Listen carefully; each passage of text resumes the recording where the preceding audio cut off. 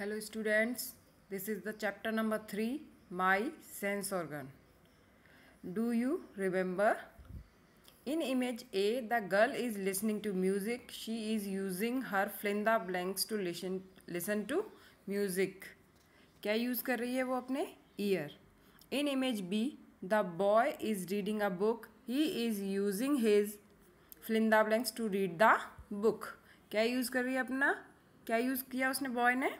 Eyes sense organs sense organs help us know about the world around us sense organ से हम अपने world के आसपास की चीज़ों को जानने के में हेल्प लेते हैं उनकी they are eyes ears nose tongues and skin how many sense organs five eyes ears nose tongue and skin now look that picture eyes ears tongue nose skin time to answer label all the five sense organ in the image below function of the sense organs first is eyes I see with my eyes.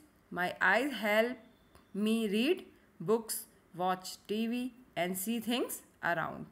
हम अपनी आँखों से देखते हैं और उनकी help से हम बुक पढ़ते हैं टीवी देखते हैं और अपने आसपास की चीज़ों को भी देखते हैं now next ears I hear sound with my ears मैं अपने कानों से आवाज़ सुनता हूँ। My ear help me hear soft as well as loud sound मैं अपने कानों से धीमी और तेज़ आवाज़ सुनता हूँ। Nose I smell with my nose मैं अपनी नाक से सुनता हूँ, सूंघता हूँ। My nose help me breathe air and smell things और मैं अपनी नाक की मदद से हेल्प से सांस लेता हूँ। और चीज़ों को सूंघता हूँ। Tongue. I taste food with my tongue मैं अपनी टंग की हेल्प से खाने को टेस्ट करता हूँ, स्वाद लेता हूँ।